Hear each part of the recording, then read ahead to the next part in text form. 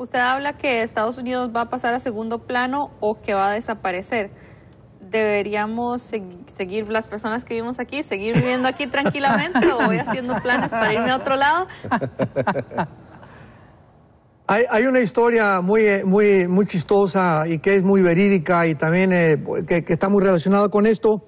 Hace muchos años había un matrimonio en Inglaterra que comenzaron a estudiar todas las zonas geográficas en el mundo donde pudieran vivir en paz y retirarse sus últimos días. ¿Y qué lugar creen que escogieron? Las Islas Malvinas. Les garantizaron todo mundo que ahí podrían vivir en paz. A la semana que se cambian a las Islas Malvinas, fueron intervenidas, ¿verdad? Y vino la guerra para que pudieran otra vez Inglaterra querer apropiárselas. Y total que si hablamos de un lugar seguro, no busquemos eso estemos en el centro de la voluntad de Dios, porque eso es lo más importante, buscar cuál es la voluntad de Dios, no donde estamos más cómodos, donde vayamos a ser protegidos.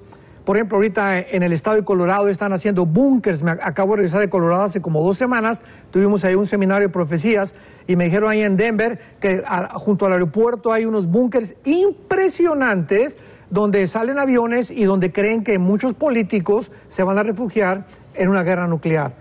Así que si estamos en Dallas, que nos agarre en Dallas o en el baño de mi casa, donde nos agarre, ¿verdad? Estamos seguros en las manos de Jesús. Okay.